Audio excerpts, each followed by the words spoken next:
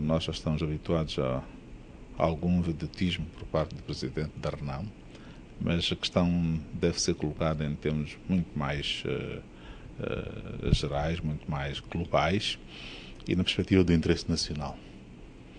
Uh, Moçambique embarcou a democracia multipartidária e o governo da Frelimo fê-lo de boa fé e está empenhado em fazer essa democracia triunfar.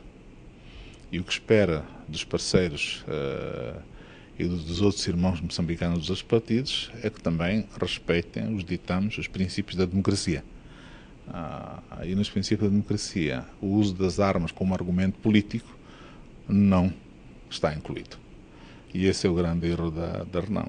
Temos diferenças, é natural, por isso é que há partidos, um partido da situação e ao partido da oposição. Partidos da oposição, é porque há diferenças, mas as, o, as, as mesas de diálogo, diferentes fóruns, o Parlamento, uh, o, o, diálogo entre, entre partidos está ali para dar corpo à democracia. Até só isto que o governo quer, é que todas as diferenças sejam discutidas ao nível, uh, com base no, no, no diálogo. Quanto à intenção de matar o presidente da, da, da eu devo dizer que o governo está claro em relação a uma coisa.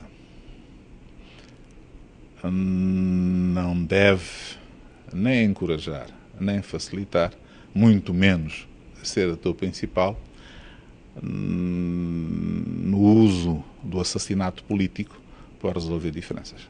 Os assassinatos políticos nunca resolvem problemas aprofundam os problemas, agravam os problemas e inviabilizam o país. E um governo sério como, como, como o que está em Moçambique neste momento não vai enverdar por esse caminho, de maneira nenhuma.